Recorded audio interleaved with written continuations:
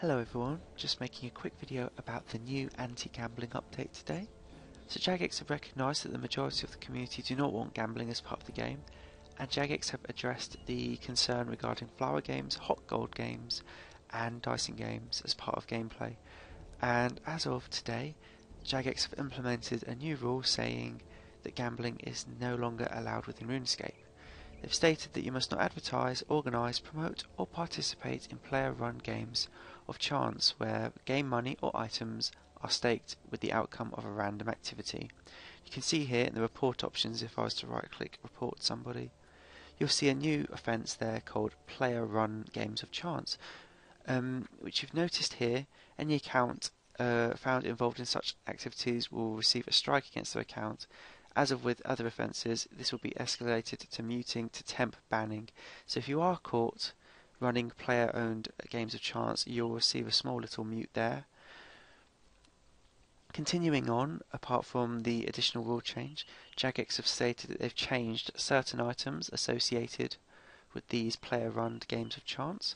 So planting mithril seeds will now always show the same coloured flower, although picking the flower will result in randomly coloured flower in your inventory. So I'm just going to demonstrate that really quickly. So I'm planting a mithril seed and it will appear as white. Pick the flower, it's now multicoloured. Let's try that again. White again. Now I've got yellow. And white again. Pick the flowers. And we've got some orange flowers.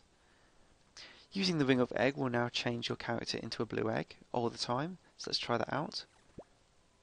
Blue. Blue. And blue again. The seal of approval emote now chooses the same seal every time it's used. So let's try that out.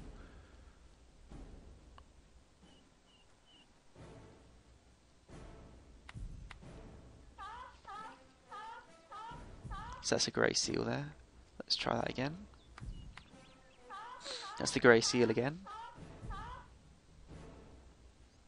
And although I don't have the classic skill cape on me, um, I would assume that doing the cape emote will result in a rune hatchet only appearing above your uh, head.